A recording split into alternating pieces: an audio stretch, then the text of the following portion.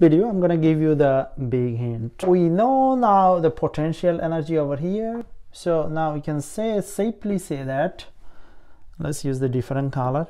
We can safely say that potential energy on the top is equal to kinetic energy right here. Kinetic energy right here on the bottom okay? So let's uh, let's bring it over here bring this system over here so that I can do it over here. So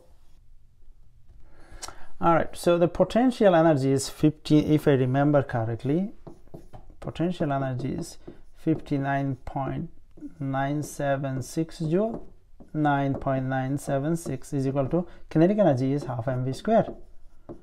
Velocity is velocity final meter per second. So we got this velocity we got this velocity. 05 v1 is equal to 1.35 we got the final velocity 9.4 the bullet. Once you find the velocity of the bullet then you're going to use the momentum the conservation of momentum to see that whether momentum conserved and then you're going to use the kinetic energy theorem to see whether the kinetic energy conserved by the way kinetic energy not conserved why?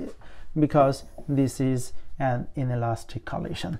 But you have to prove that using the conservation of energy.